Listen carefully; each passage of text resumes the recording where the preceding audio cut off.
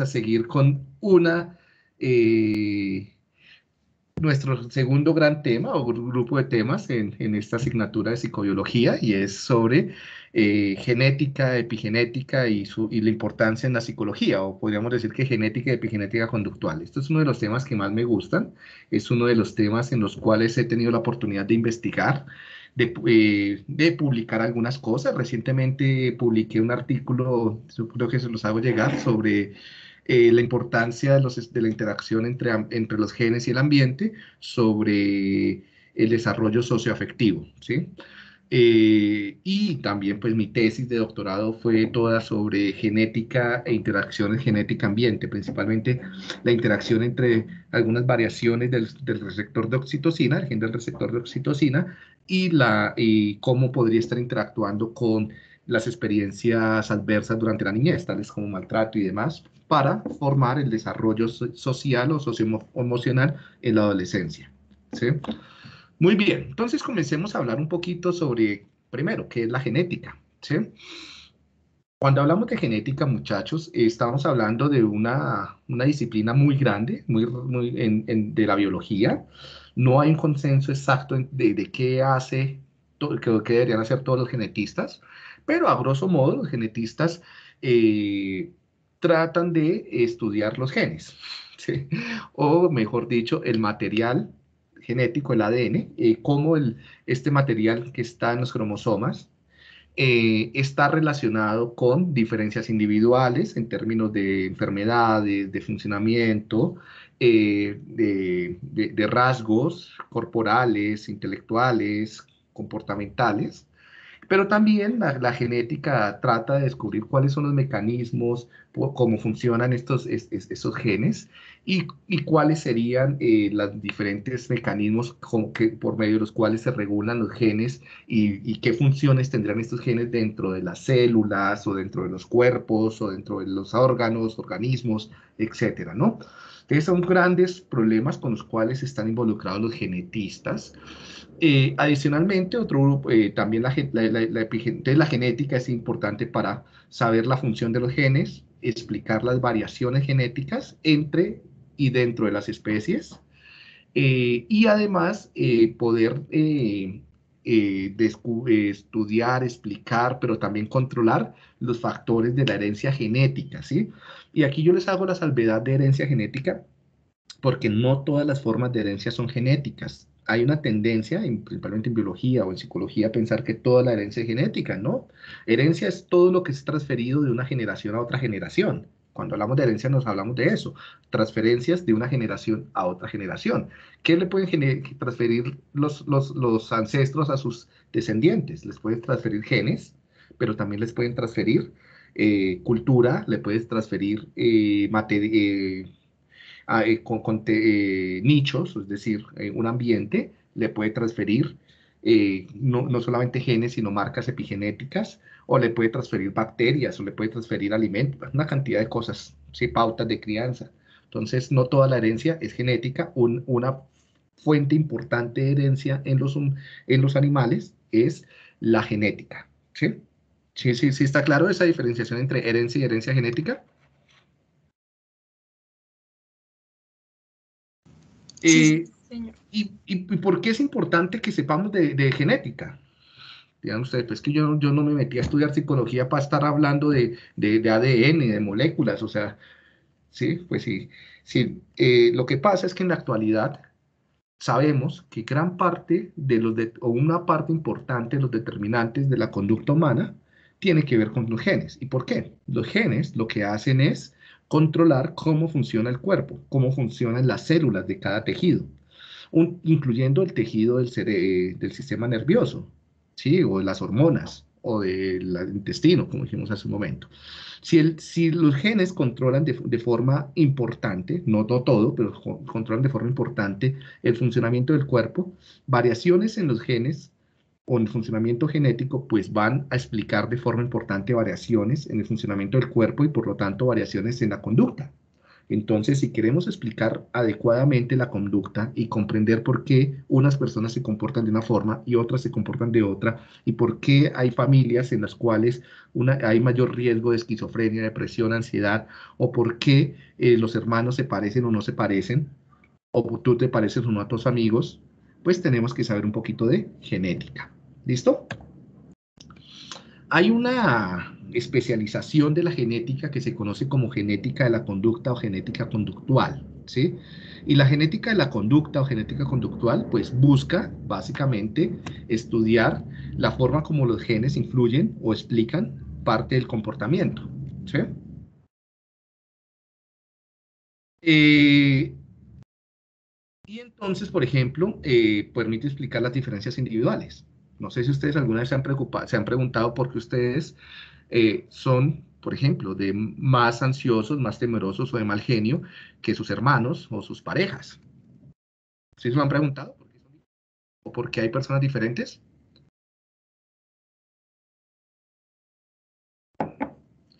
Claro, profe. Ah, bueno.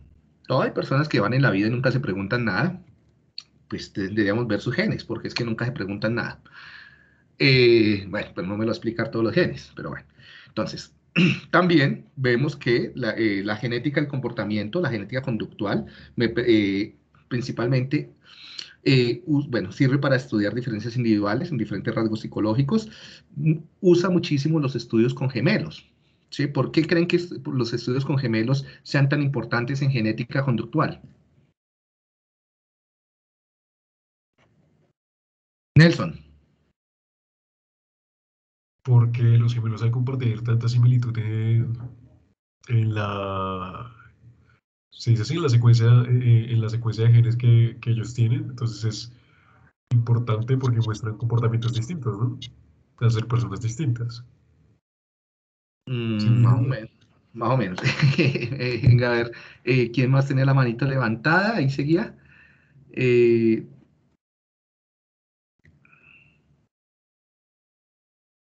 Eh, creo que María Paula era la que seguías ahí, sí. Eh, sí, pues em, lo que en la lectura lo mencionaron un poco y era que más que todo se usaban como los gemelos homocigóticos, porque pues a nivel de ADN pues era igual en ambos, pero muchas veces la epigenética hacía em, que ya cuando estuvieran grandes tuvieran comportamientos distintos o digamos uno era mejor en la música y el otro era mejor en los deportes. Entonces, pues sí, estudiaban cómo, pues, cómo el ambiente moldeaba a las personas que tenían el mismo ADN. Muy bien, por eso, entonces tiene mucho que ver con eso. ¿Vas a decir algo más, Sofía Sánchez?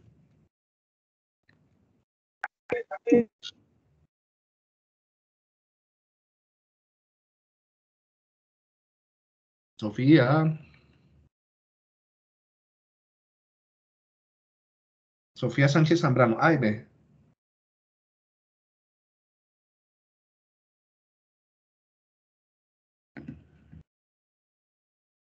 No te escucho. Bueno, entonces, pues sí, van, van, van en, esa línea y es que los, los, gemelos eh, monocigotos, eh, digo, eh, sí, monocigotos que vienen de un solo cigoto, de un solo óvulo y el mismo eh, espermatozoide, o bivitelinos que comparten la, univitelinos, digo, que comparten el mismo saco amniótico, o sea, los gemelos idénticos, no los mellizos, eh, pues tienen exactamente eh, el mismo ADN, ¿no? Y al tener el mismo ADN, ¿sí? Es posible llegar a estudiar qué tanto aporta la genética, el, tener eh, genes similares y qué tanto está aportando el ambiente, ¿no? Porque supuestamente tienen ambientes diferentes. Aunque eso es relativo, porque eh, pues tienen la misma familia, nacieron en la misma cultura, entonces también tienen ciertas condiciones ambientales similares. Bueno, muy bien. Eh, la genética la conducta, entonces, también me permite, o conductual, explicar en parte el desarrollo humano, por ejemplo, por qué hay mayor plasticidad durante la infancia, ¿sí? O por qué los, tenemos dos hemisferios y no un hemisferio, y qué pasa con las personas que solo tienen un hemisferio y por qué tienen desórdenes tan graves, o por qué, por ejemplo, las causas de algunas alteraciones eh, que llevan a discapacidad intelectual o que llevan a dislexia o que llevan trastornos del neurodesarrollo o trastornos o enfermedades mentales como la depresión, la esquizofrenia, eh, el Alzheimer, ¿sí? ¿Qué relación tiene con variaciones genéticas? Y también me permitiría, por ejemplo, explicar las diferencias entre, entre poblaciones. Por ejemplo, por qué las poblaciones asiáticas tienden a ser mucho más interdependientes y las poblaciones eh, caucásicas tienden, a ser mucho más independientes. ¿sí? Ese tipo de cosas. Bueno, con respecto a, la, genética y la noción de gen, eh, yo no sé si estoy compartiendo acá la presentación o, el escritorio, para compartir solamente la presentación. Muy bien. Entonces, con respecto a, la genética, pues el, eh, uno de los conceptos esenciales es la noción de gen. ¿sí? O sea, ¿qué es un gen? Y pues no hay respuesta única y universalmente aceptada sobre lo que es un gen que es una vaina de las cosas que uno dice, ¿cómo así que los genetistas no saben qué es un gen? Pues así como los psicólogos no saben qué es la conducta. o qué es la conducta. A ver, entonces no, no hay posturas, hay, hay, posiciones, ¿sí? Pero no hay un acuerdo entre todos los psicólogos sobre qué es y qué no es conducta. Ni hay un acuerdo entre todos los, entre todos los por ejemplo, físicos sobre qué y no es un átomo, o, sobre todos los... Eh, eh, genetista sobre qué y no es un gen, ¿sí? Claro, hay posturas y hay dos posturas grandes, una, una postura mucho más estructuralista, una más funcional. Hay otras posturas también, unas más informáticas o algo así. La postura, unas evolutivas también. La postura estructural lo que nos, lo que nos pone de manifiesto es que los genes serían una, un, un, conjunto de, de, cosas. ¿Un conjunto de qué cosas? Un conjunto de moléculas. Entonces, el gen sería un conjunto de moléculas biológicas, básicamente de ADN, eh, que permite la síntesis de una proteína, básicamente de una macromolécula llamada proteína o del ADN. Entonces, aquí en la, visión estructural, pues tenemos que eh, los genes tendrían, si son un conjunto de ADN, pues tendría tener un inicio y un, inicio y un fin, ¿no? O sea, uno diría, mire, de acá a acá, de este pedazo de ADN a este pedazo de ADN, tengo el gen X o el gen Y, o el gen Z, o el gen, cualquier gen, ¿no? Pero eso no es tan así, porque muchos, o sea, el mismo, y, debería producir una proteína, muchos, bueno, aunque no todos producen proteínas. Pero eso no es tan así en, esta visión eh, estructural, porque pueden haber genes que tengan más o menos nucleótidos. O sea, la cantidad de nucleótidos y el inicio y el fin no me determinan el gen. Entonces, el gen parece que está determinado más en, la, términos de la funcionalidad que tiene con otros genes y dentro de una célula o dentro de un tejido de un cuerpo, ¿no? Entonces, es mucho más complejo que la suma de ADN. También el, gen puede ser definido como una unidad de información. Esto es una visión un poco más eh, computacional y es que sería eh, una entidad que mantiene la información para producir proteínas o para que la célula funcione, para producir un cuerpo, ¿sí? o un, organismo. Pero pues esa posición también eh, eh, eh, es, es, complicada, ¿no? Porque no es exactamente información. O sea, cuando hablamos del código genético del ACGT, no estamos hablando propiamente de un código informático independiente de la estructura que lo mantiene. Entonces es mucho más difícil, también es mucho más complejo con eso, ¿no? No nos vamos a complicar nosotros, no somos genetistas, ni, somos, ni nos interesa hacer teorías genéticas, entonces, ¿con qué es y qué no es un gen? ¿Listo? Que eso dejémoslo a ellos. Simplemente vamos a, tener en, consenso y como una, una definición de trabajo que el gen tiene que ver con porciones de ADN, grandes porciones de ADN, que permiten en su, en su mayoría, no todos, pero en su mayoría, la síntesis de proteínas y que esas proteínas sirven para que las células trabajen o, para que los, los, tejidos funcionen. ¿sí? Entonces, básicamente, los genes regulan el funcionamiento de los tejidos a través de la síntesis de proteínas que se hace a partir del ADN. ¿Listo? Eh, está un poco más clara esto, aunque también hay otras funciones de los genes, por ejemplo, como facilitar la, la transferencia de, de, estas, de, estas cadenas a través de las generaciones, básicamente a través de la replicación del ADN, ¿sí? Y, y, esto se hace a través de procesos de división celular y procesos también de división, pero puede ser dentro del mismo cuerpo o para la descendencia en términos de los gametos, ¿sí? Y hay genes que no sintetizan proteínas ¿sí? ni regulan la replicación del ADN, sino que regulan cómo deben otros genes funcionar. Bien. Hasta ahí, definición de trabajo más o menos sobre lo que vamos a entender por un gen, ¿no? Una, cadena de nucleótidos llamado ADN que facilita la síntesis de proteínas para que los tejidos funcionen y en este caso me interesa el sistema nervioso o las hormonas. Muy bien. Eh, ahora, para entender muy bien la genética, tenemos que partir de dónde están los genes. Los genes están en los cromosomas, ¿cierto? Entonces, en algo llamado cromatina. La cromatina sería la materia que compone los cromosomas. Los cromosomas están en el núcleo de las células, ¿sí? de todas las células eh, eucariotas. Eh, pues en, el cuerpo humano, algunas no van a tener eh, núcleo, como los glóbulos rojos, pero otras, la mayoría sí tienen núcleo. Y cada, y cada célula comparte pares de cromosomas, a, excepción de los gametos, ¿no? de los óvulos y espermatozoides, que solamente tienen la mitad, no tienen sino de un cromosoma. Y eso, pues, por fines de reproducción, ya que no se dividen por mitosis, sino por meiosis. ¿sí? Bien, esos son clases de, bachillerato que no nos vamos a retomar acá. Entonces, eh, secundaria, educación secundaria.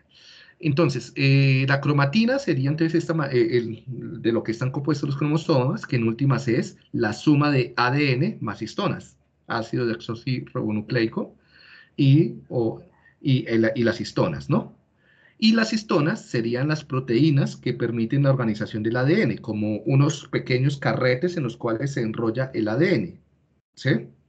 Básicamente estas histonas se pueden pegar mucho entre ellas o estirar. Aquí las vemos, miren, estos, estas bolitas serían las histonas. ¿sí? Y entre más despegadas estén, el gen puede expresarse mejor y entre menos pegada esté, el gen puede, se silencia más.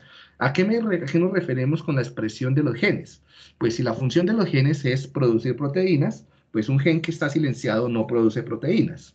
Y, si, y un gen que esté y que se esté, pero hay diferentes ritmos. Un gen que se esté expresa, hay diferentes tasas de expresión. Hay genes que expresan o, más o menos, o sea, que producen más o menos proteínas. ¿Sí? Muy bien, aquí vemos como todo esto, cromosoma, ¿cierto? Cómo se va desplegando, nos vamos acercando. Acá tenemos las histonas y, en las histonas está enrolladito el ADN.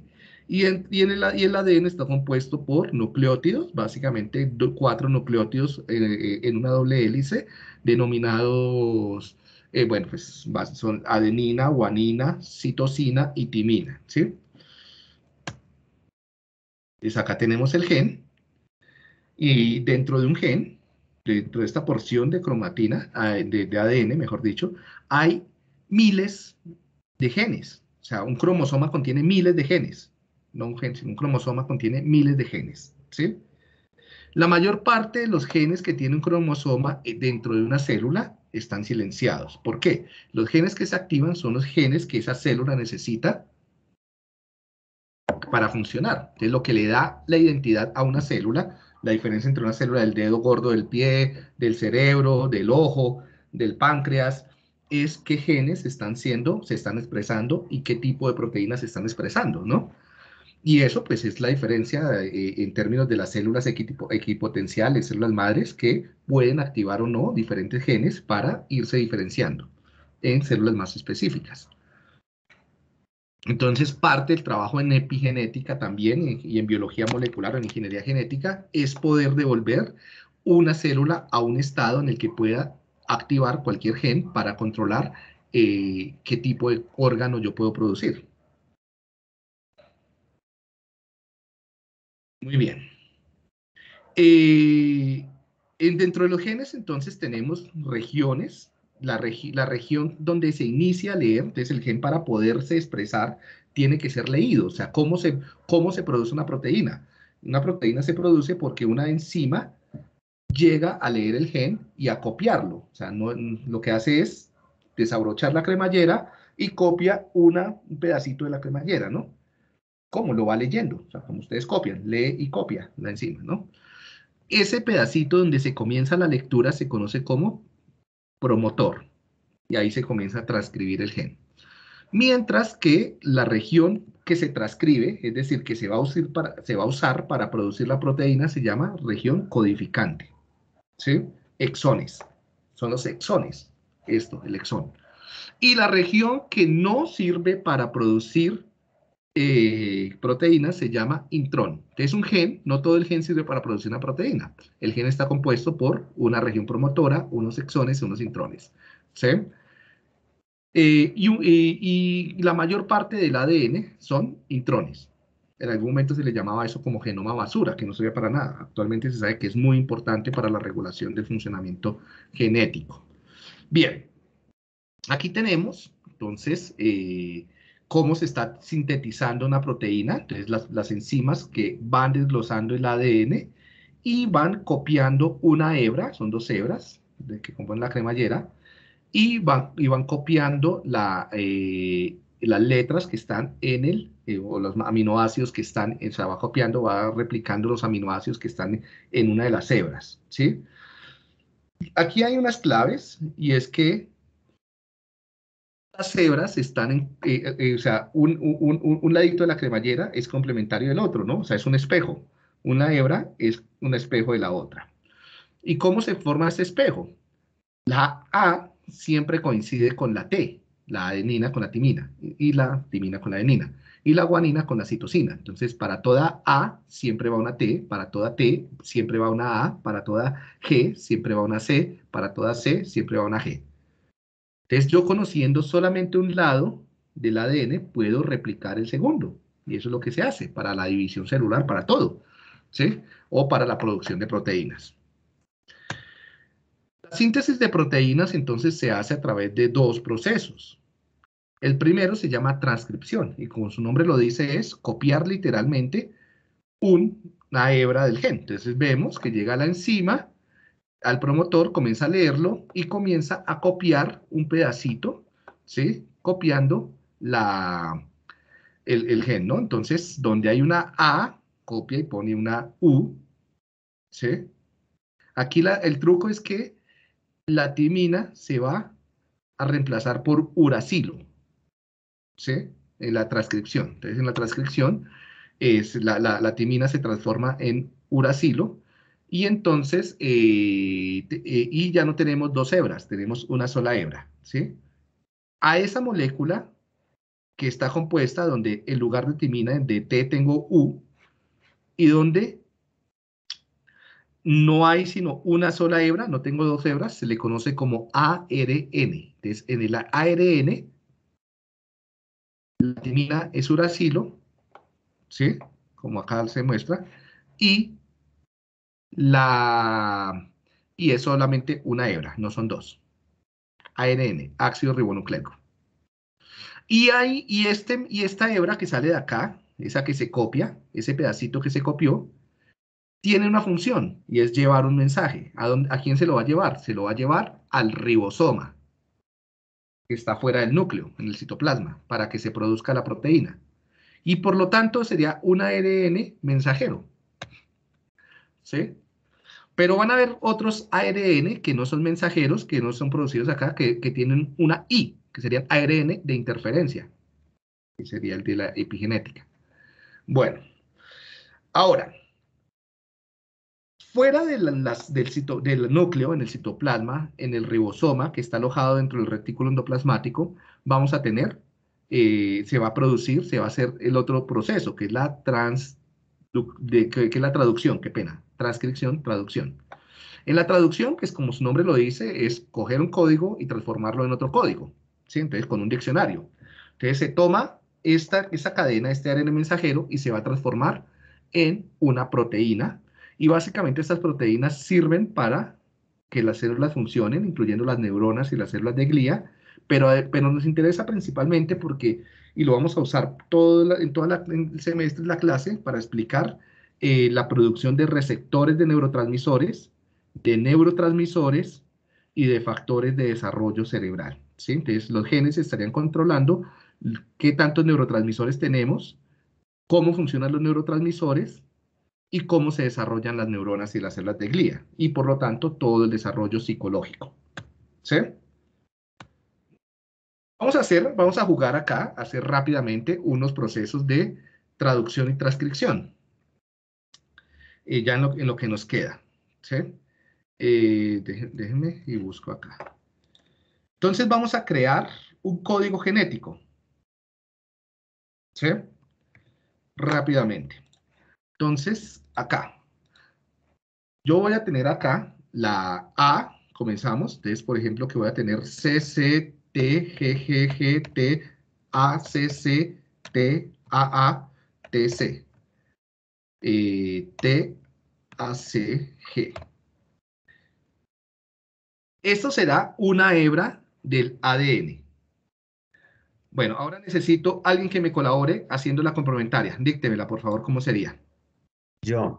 Entonces sería T, G, G, A. Espérate. G, G, A. A, C, C, C, A, T, G, G, G, eh, A, T, T, A, A, eh, G, A, eh, sí, A, T, G, C.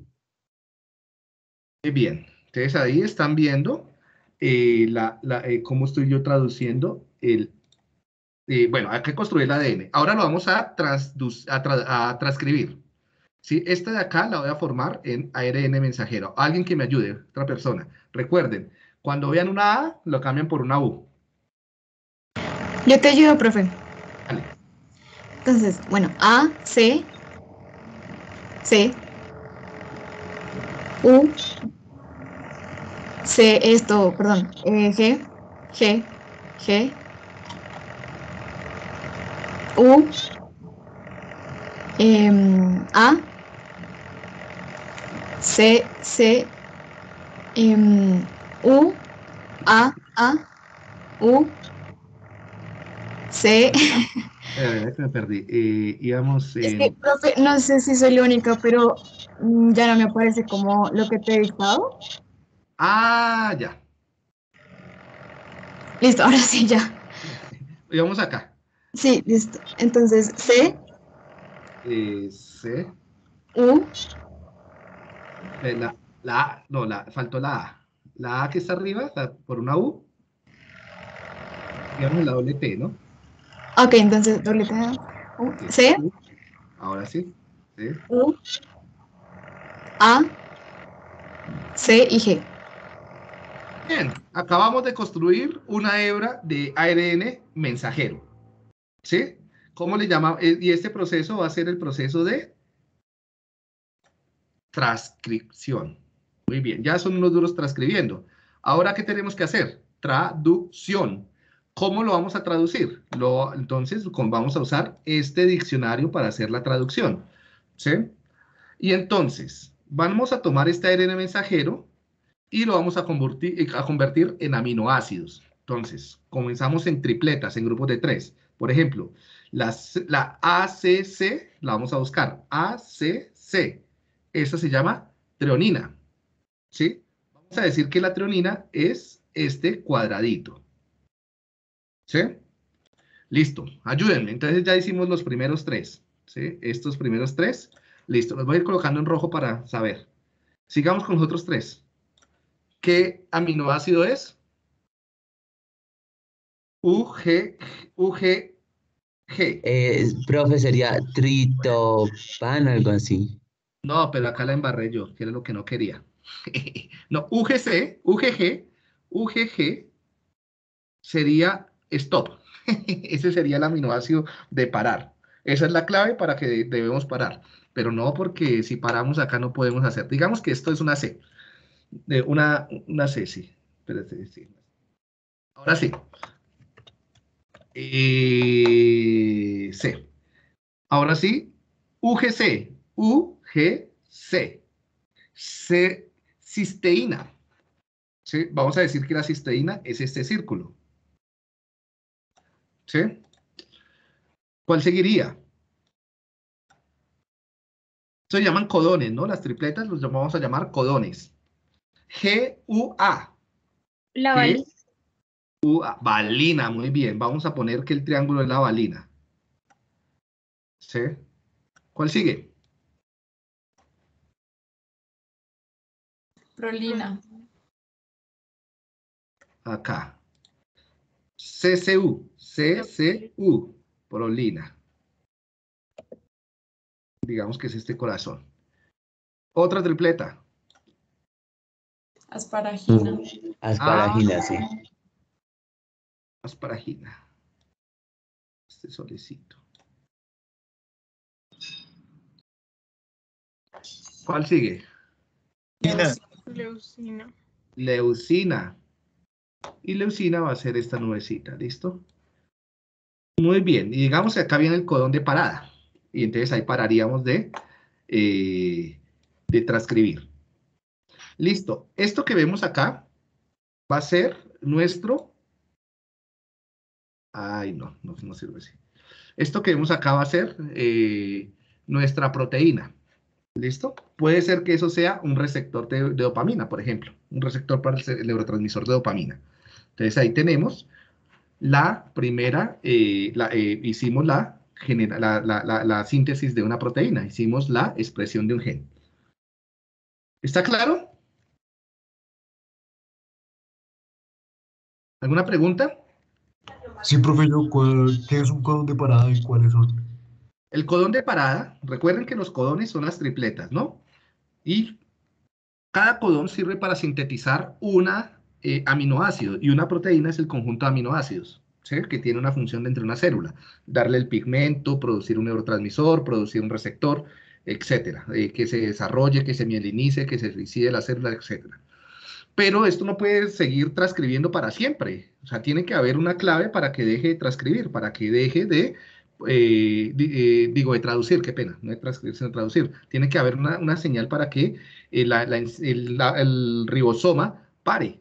¿Cuál es, el, ¿Cuál es la señal para que el ribosoma pare? Cuando aparece una U, A, A o U, A, G. Entonces, si yo acá tengo, digamos que ahí en la traducción tenía U, no, pero, ay, ya le pongo cambio, AA, es cuando tan pronto ese ribosoma encuentre estos tres aminoácidos, él ya va a dejar de, él sabe que ahí tiene que parar y ya deja de, y, y- y corta.